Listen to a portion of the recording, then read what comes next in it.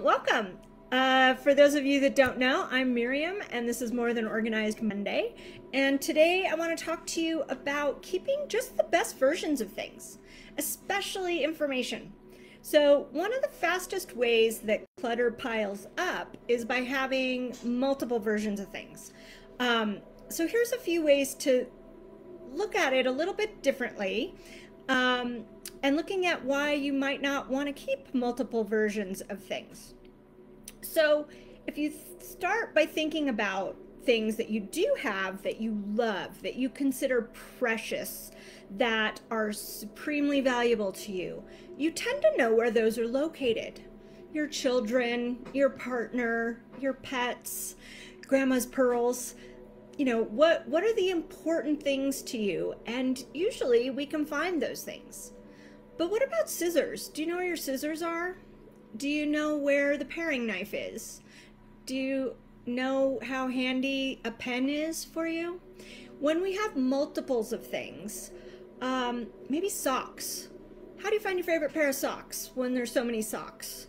Um, when we have multiples, you have to look through those multiples to find your favorites instead of just having your favorites and using that.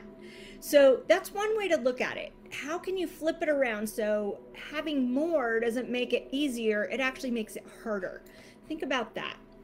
And then when it comes to paper and computer information, turns out that we tend to keep information that we already know um, because it proves what we're talking about, that we know what we're talking about, that we're interested in that topic. And so by keeping multiple versions of things, every time you run across an article or a post or an email about the thing you're interested in, our first tendency is, oh, I like that, I'll keep it. Instead of, is this the best version of this information? Or let me look at it from a little bit of a distance and say, is that how I tend to think about this topic? Is this an agreement? Does this add more depth and um, nuance to the process?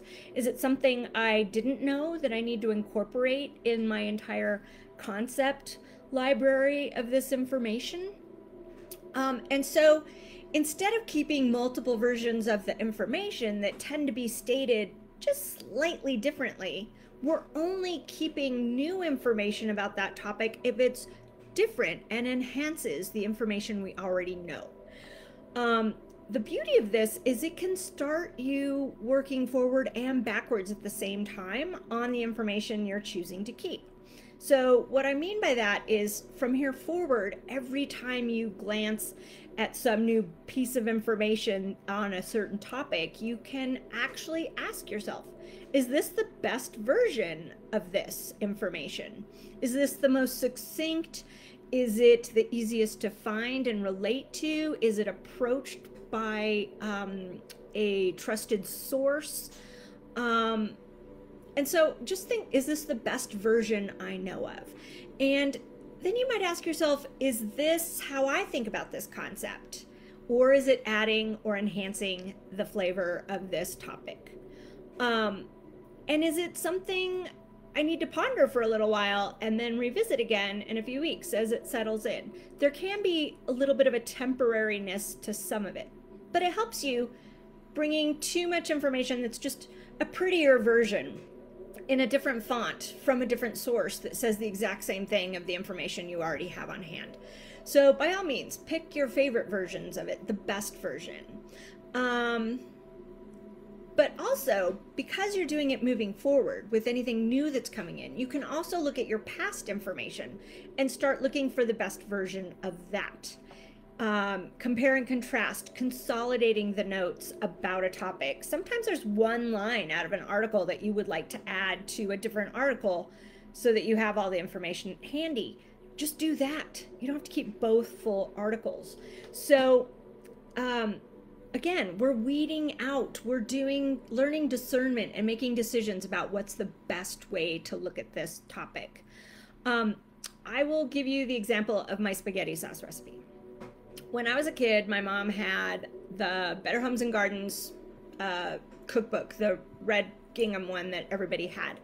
Um, but they, with every new edition of that, they uh, updated and changed the recipes a little bit. And the version we had was fantastic starting point and there were a few things that friends of my mom's had added and suggested to adapt the recipe over the years and it was very well suited to our family and our family's tastes. And so i loved that recipe. And then somewhere along the line that cookbook went away and i never grabbed the recipe. So i spent the next like 10 years trying to find that exact version edition of that particular cookbook and I couldn't find it or I couldn't find it or it would be, you know, kind of a pricey item from the secondhand store and when I would go back for it it'd be gone and it was just kind of a hunt and and uh, search for for that particular recipe. In the meantime, I'm checking out other recipes, seeing if I like them. I'm clipping them. I'm practicing with some of them. None of them are hitting the mark. And then, Better Homes and Gardens put all of their different editions online. So I was able to actually find the recipe again. But it didn't have all the adjustments. And it actually had a few items that I didn't recall being in it. And so I just printed out that copy of the recipe and then I started taking notes from all the other things that I had learned over the years of cooking.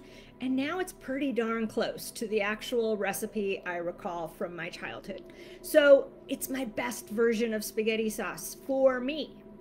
And all the other spaghetti sauce recipes that I had cut and clipped and um, tried out that weren't the spaghetti sauce I loved went away. I didn't need another spaghetti sauce.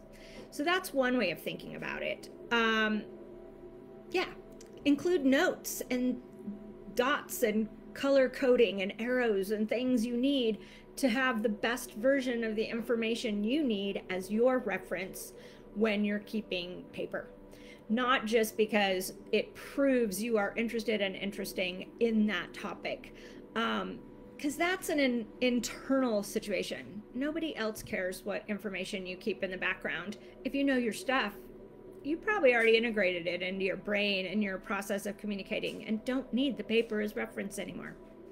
All right, hopefully that'll help cut back on the paper clutter and shows you a little bit of how you might apply it to household items as well. So I will see you next week. Don't forget to subscribe, like, follow, comment, and tell all your friends because joining us each and every week on Monday for More Than Organized Monday is just more fun when there's more of us. And in the meantime, have a delightful day.